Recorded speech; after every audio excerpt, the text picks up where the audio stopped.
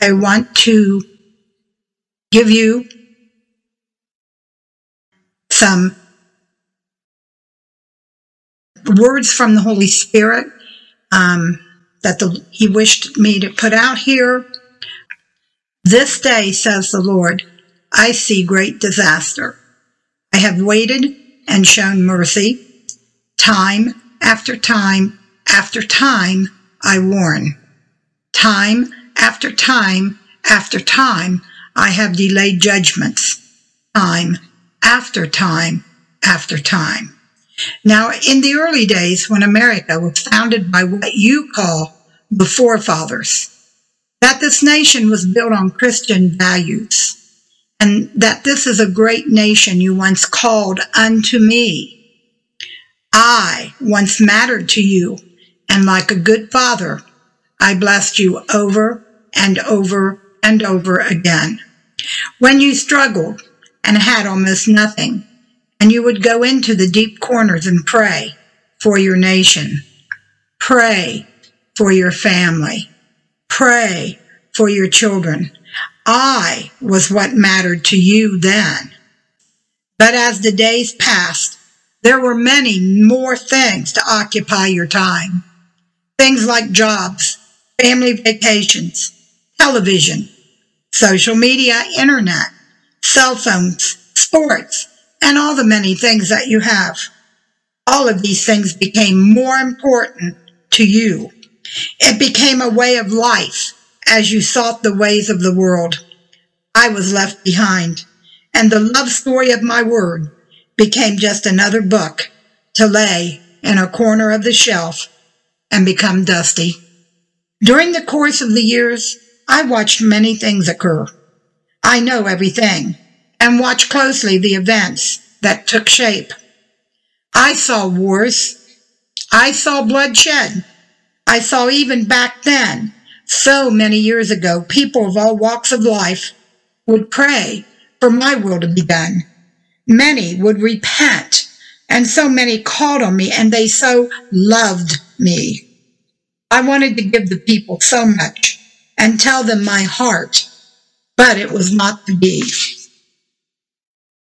There have been so many changes, and slowly I have been locked out of everything. Today, everyone is so busy. Hurry, hurry, hurry. You hurry and you make sure you have time for this and time for that, but you have no time for me, which has brought us to know about the coming civil war.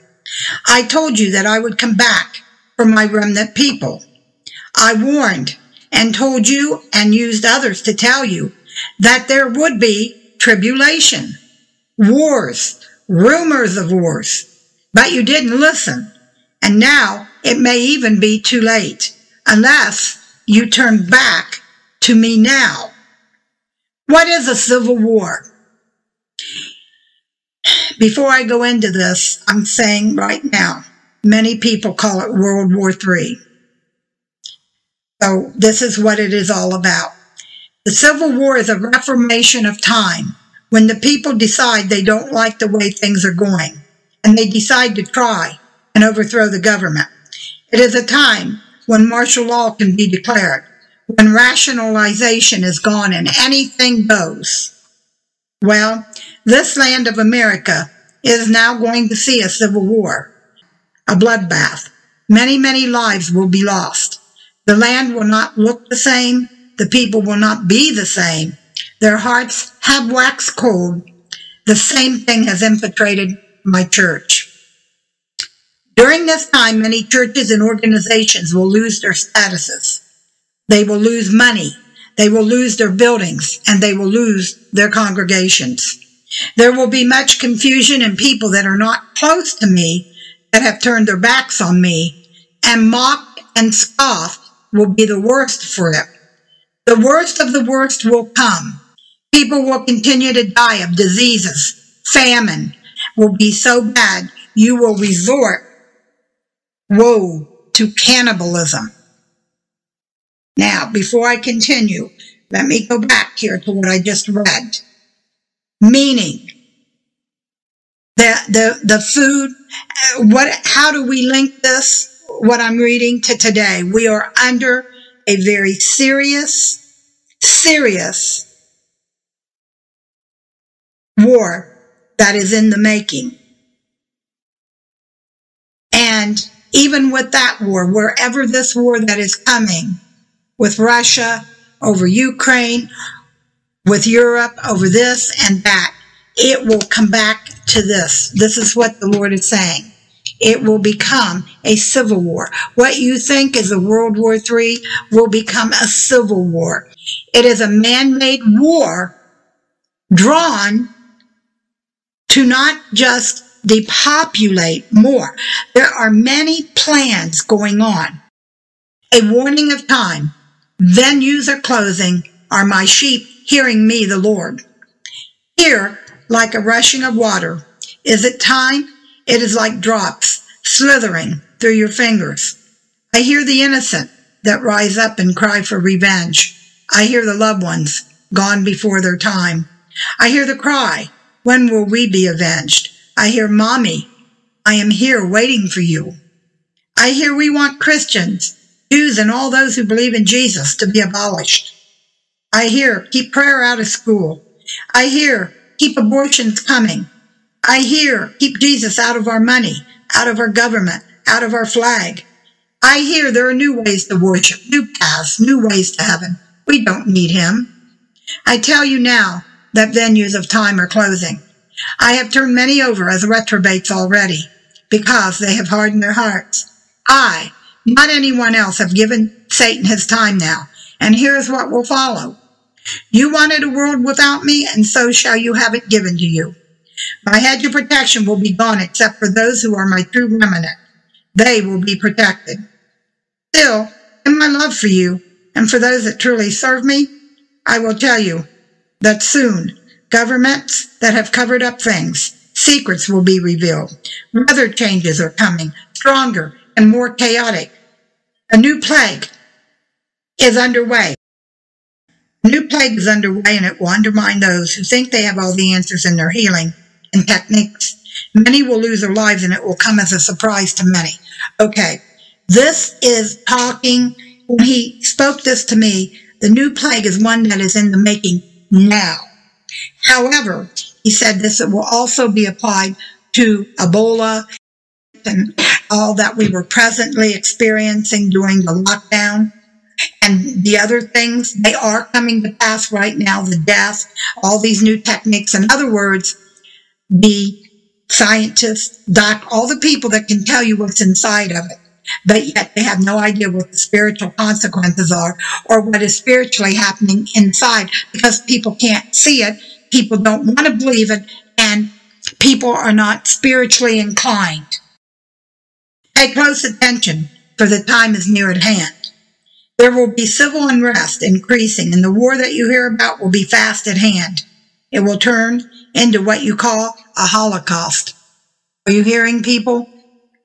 Warn while you can and while I can be found, for soon I will not hear you. Many well-known watchmen and prophets and even some theologians that think they have things figured out will be very surprised at the curveball I throw. I desire, I desire those that serve me in spirit and in truth. There will not be very many. I will have my way in those small, insignificant places that no one knows, where my fire is ever present, and where the open heaven and my flame burn constantly. It is a serious time approaching all the beginning of sorrows, the peace that everyone knows is at an end. Find me while you still can, for soon I won't be found. Search your heart make sure I am first and under my protection. And that is the end of that one. And so all of that is already coming to pass presently and has already started. And what he's talking about, where the hidden ones are, there are hidden ministries, small ones, where um, house churches, different places that people either only know a little bit about on the social media or they know nothing about what's really going on behind the scenes. And this is where the Holy Spirit is working constantly. This is where they keep the fire burning. And this is where they keep an open heaven continually. This is the word about the house churches. And these, this is the churches that are being hidden. There's, or in the making. Okay. And what a house church should be. God is giving his perspective. The transfiguration or the transforming of the coming church and the bride. The word of the Spirit of the Lord came and said, Here is how my church shall be, a glorious church. In these churches, iron sharpens iron, and they will move in accordance to my word and in godly order. Likewise, many will come for refreshing, refining, truth, putting aside all differences, controversies, idols that would lead you away from me. One church, one church, one spirit, not many churches, not many agendas, not many denominations, but one, in unity and in one accord, to please, serve, and make me first. You will come together and you, I will show up and provide ways and means to feed the hungry, provide clothing, provide medical needs that will be met. You will break bread and commune with me, and I with you.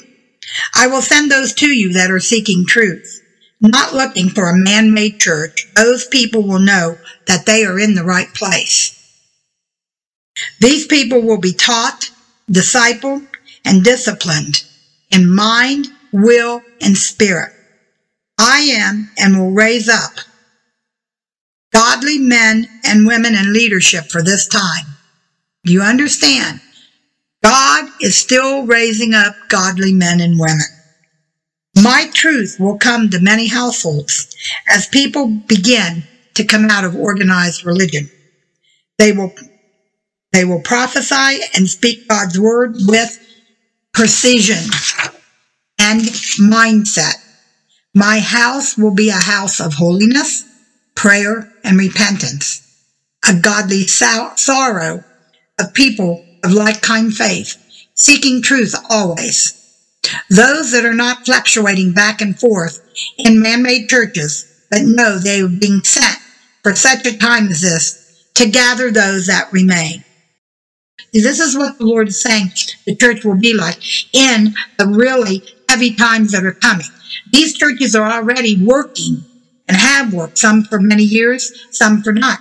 But God is wanting to redefine and kind of get them more to where they need to be. This is already happening. These are some of the hidden ones.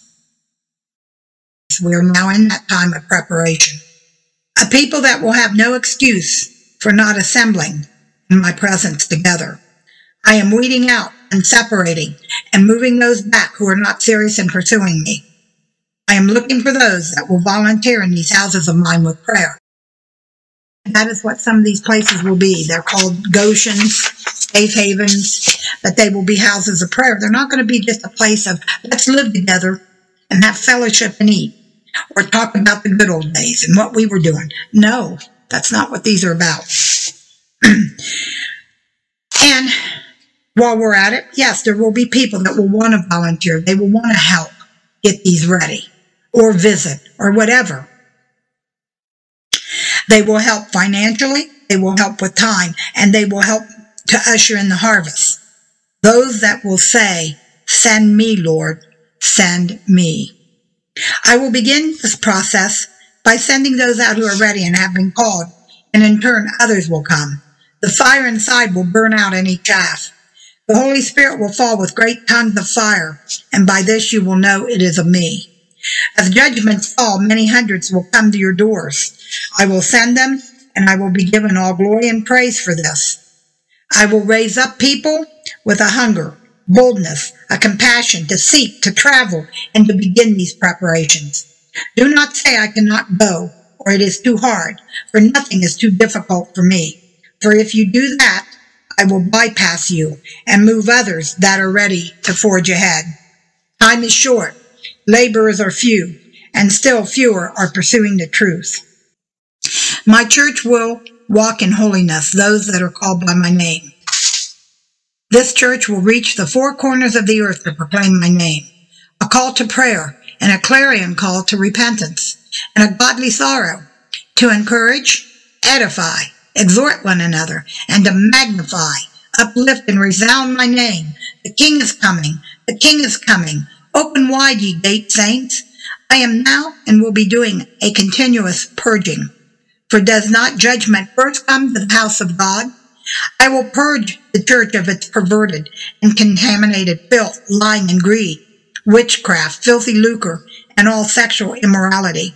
My church will fulfill all the requirements in the book of Acts. My one foundation is truth, established on the rock. My justice will prevail, and the gates of hell will not prevail. Soon you will see my true church. It is happening right now, and there are those that are being readied for this time. In some of these places, the Acts church is already happening, but many are blinded, are blindsided because religious church tradition has been the norm for years. And that is the key. I am is working behind the scenes. Much is being accomplished in these home gatherings, meetings. Soon they will rise to the surface for all to see. My hand and hand will be upon it all. Yes, there are still many who do not understand the kingdom principles, and even spiritual ones. But to those that do, will wave aside all the doctrines of man, yes, of man, who is responsible for much of the perverted garbage that comes across the pulpits. Prepare, prepare, prepare, I say, for all I've told you this day will surely come to pass. Prepare, for behold, the bridegroom cometh. Isaiah 46, 9 to 10. Remember the former things of old, for I am God, and there is none other. I am God, and there is none like me, declaring the end from the beginning, and from ancient times, the things that are not yet done, saying, My counsel shall stand, and I will do my pleasure. Now, I stopped there. Those were the words that was given me. Now, then I was followed by a complete vision. In a quick moment, I saw in a vision a huge like domain without walls, just beautiful, but in a plain sort of way. And I saw people coming, so many being drawn to what was going on inside. Everyone was happy. There was prayer, even dancing and singing. People had a peace about them. I saw someone was getting a huge tray with what I recognized as the communion. I was drawn to the feeling of peace and being safe. I wanted to stay there and be a part of this. I finally realized that it was the way everyone treated each other, genuine, full, full of love and compassion. And what held them together was the love bond of Jesus Christ, Yeshua, and the love between each other. And I noticed everything was in godly order. There was the hand of God wooing them in. The most important thing I felt was the Holy Spirit falling. And in an instant, I was up in the air. I was in the clouds. And oh my goodness, I felt like I was on fire. I seemed to be suspended there, and a voice suddenly said, Look down. And I looked down, and the place I had been in only moments before looked like it was on fire. And I said, Oh my gosh, the place is on fire. And then the voice said, Look again. And when I did, I had to really look hard. And I saw the fire was above people's head, and people were speaking, but I was not loose enough to know what was being said. And then I was back on the ground, and everything was like it had been before this vision.